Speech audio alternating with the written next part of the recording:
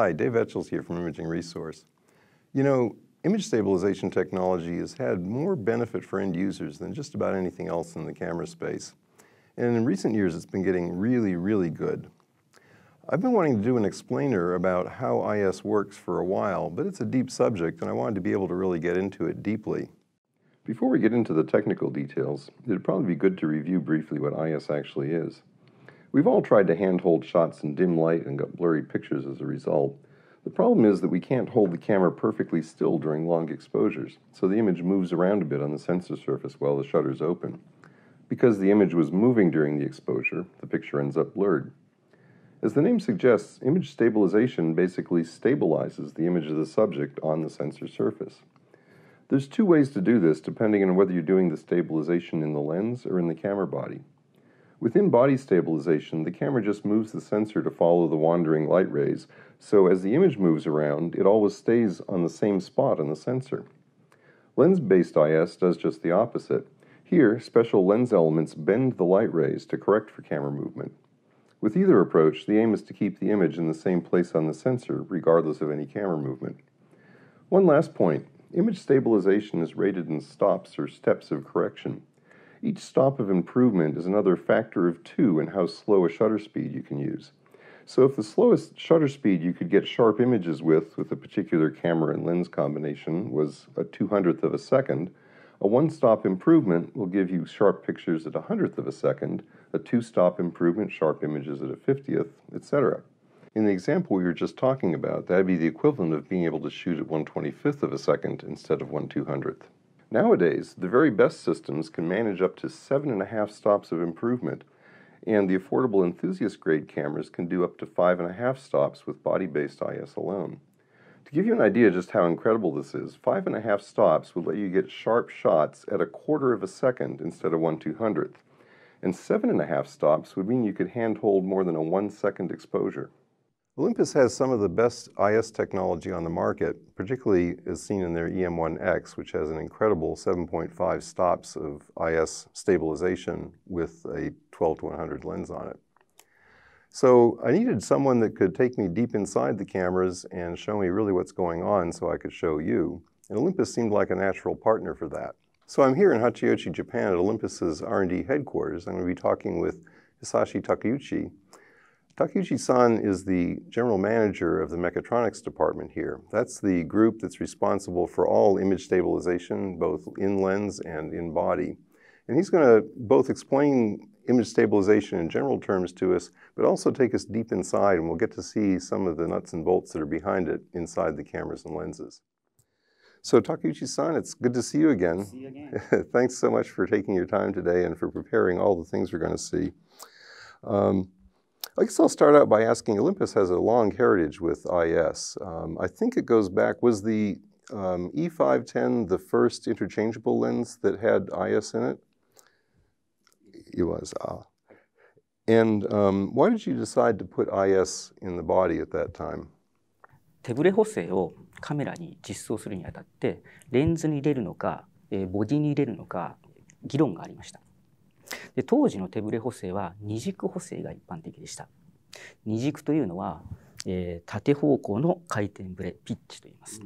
それから横方向の回転ブレの、えー、陽と言います。えこれだけであればどちらレンズボディどちらに入れてもいいんですけれども最終的に我々は全てのブレを補正したいという目標を持っていました。全てのブレというのはその陽とピッチのほかに、うん、えー、平行移動のシフト X、うん、シフト Y、それからロールブレという回転補正ですね。これをやる必要があります。そのロール補正をするには、えー、レンズではできずボディでしかできないと。いうことから最終的に我々はボディ内手ブレ補正を選びました、うん、えっ、ー、と二軸補正と五軸補正の違いについて説明しますこちらが E510 に搭載されているのと同じ IS ユニットになります。こちらは前後、すいません。こちらは上下、それから左右に動かすことができます。そしてこちらが EM5 Mark III に搭載されている IS ユニットになります。こちらは上下、左右、それから回転動作ができます。こういう違いがあります。まず、えユニットの違いがあります。えこちらがですね、え手ぶれを検出するセンサーになります。ここにですね、え加速度センサー、三軸加速度センサーと、えジャイロ、回転ブレを抑制するジャイロが1つ、2つ、3つ、3つ入っています。二軸補正はジャイロが2つしかないんですけども、5軸の場合は1、2、3、4つのデバイス。こちらが、えー、あります。この違いがあります。I suggested doing this video with Olympus because you seem to really have the, the most developed IS. The EM1X, as I said in the intro, gets seven and a half stops of reduction when you pair it with the appropriate lens. What is it that's let you get to such a, a high level of stabilization? EM1X で世界最高の7.5段の補正性能ができた理由なんですがその一番の理由が、えー、ジャイロにあります。でえーと、EM1X のジャイロこちらに見られるジャイロですけれどもこれはジャイロメーカーのセイコーエプソンさんと3年間で共同開発を行って作り上げた特別なジャイロになります。このジャイロは従来一番性能が良かったジャイロからさらに一桁性能がいいものになっています。Five axis, when does the camera need to use the pitch and yaw correction and when does it need to use the X and Y? えー、ピッチと要は、えーまあ、近くから遠くまで全ての撮影シーンで効いてくるブレになります。しかしあのマクロ撮影になるとピッチ用以外にも、うん、えー、シフトの影響が強く出てくるので、五軸手ブレ補正というのが必要になってきます。People often wonder if you could get more IS effect by putting an IS lens and an IS body together. Two should be better than one, right? Well, they can be, but only if the camera knows how to work with the lens. Otherwise, the lens and camera would both be trying to compensate for the same motion. So the end result would be the same amount of blur, just in the opposite direction. Basically, the lens would move the light, and then the sensor would move the same amount, actually creating blur. But some Olympus cameras and lenses can work together. The lens makes as much correction as it can, and then the camera can add to it to handle an even greater range of motion. The in-body IS can also correct for roll, too, when the camera rotates along the axis of the lens. As we learned earlier, lens-based IS can only compensate for pitch and yaw rotation. So we've been talking a lot about aspects of IS, but how does it actually work? How do you go from the gyro and the accelerometer to actually moving the, uh, the sensor or the lens? まずジャイロで5軸のブレを検出します。そして検出されたブレ量はえこちらの手ブレ補正マイコンで処理されますこの手ブレ補正マイコンは、えカスタム仕様で作ったも特別なものになっています2つの CPU コアがあって高速演算が可能になっていますで高速演算が可能になっていますそしてこの CPU で処理された、えブレ量は補正量として、え計算されます Once the camera knows how much it needs to move the sensor, how does it actually move it? The answer is what's called a voice coil motor. The name comes from audio loudspeakers, which were the first devices to use the technique. Basically, when you run an electrical current through a coil of wire, it creates a magnetic field. If there's a permanent magnet nearby, it will push against the coil's field and apply a force to the coil itself. In a body-based IS system, the image sensor is mounted on a sliding carrier plate with coils positioned around the edges. Strong magnets are placed above and beneath each coil, so when current flows through them, the whole coil slash sensor assembly will move back and forth. The amazing thing about these systems is that the sensor assembly rides on tiny ceramic bearings that keep it flat to within a few thousandths of a millimeter while it's moving around, and the coils and magnets need to be able to position it with roughly the same accuracy as well. Here, Takuchi-san is taking apart the IS assembly from the EM5 Mark III. さらに分解するとコイルが3つあるのがお分かりいただけるかと思います。そして反対側にもマグネットがあって、えー、コイルを挟み込むような形になります。So how do you how does the camera or the processor know exactly where the sensor is? It has to be able to detect that very precisely. はい。まずこちらにあるのが位置検出用の磁石になります。組み立てたそしてこの辺にホール素子があります。ホール素子の出力を見ることでイメージセンサーがどこに位置しているのかが分かります。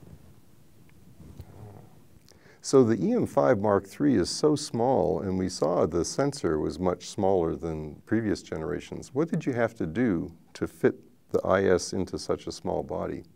こちらが EM1 Mark II の IS ユニット、うん、そしてこちらが EM5 Mark III の IS ユニットになります。うんうん、見ていただくとかなり小さくなっていると思います。こちらが EM1 Mark II の IS ユニット、それからこちらが今回開発しました EM5 Mark III の IS ユニットになります。面積比で15%それから重量比で25%の小型軽量化を図っていますこちらの場合はコイルはここにありましてプレートの上に乗っかっています EM5M3 の場合はそのプレートがありません The coil is actually inside the frame. なので薄くできています。うんうん So far, we've been talking about body based IS, but as we mentioned earlier, Olympus also makes lens based IS systems as well that in many cases can work together with the in body systems. Their lens based IS systems use the same sort of gyro chips and voice coil motor technology that we saw earlier. They're just moving a lens element instead of the image sensor. Here, Takeuchi san is taking us through a sample of their excellent 300mm f4 lens to show us how the IS elements are arranged in it. こちらが 300mmF4 の、えー、カットモデルになります。 こちらに見えるのが、え、IS ユニットの断面図になります。それからこちらに見えるのがジャイロになります。そしてこの IS ユニットの、えー、部品はこちらになります。こういうふうに見えてます。基本的に VCM を使って駆動しているのでセンサーエースと同じになります違うのはレンズを動かしていることになります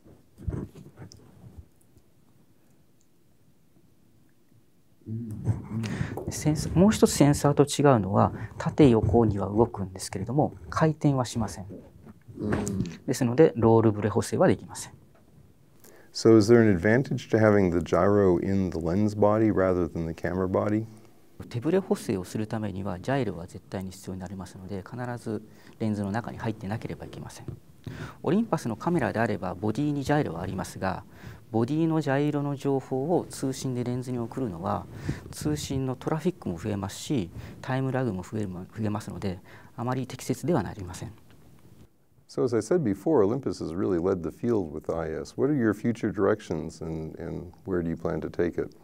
パスカメラの特徴の一つに小型軽量機動性というものがありますこの強みをさらに伸ばし三脚がなくても手持ちで取れるシーンをさらに増やしていくそのためにこの手ブレ補正の技術もさらに向上させていきたいと思っています。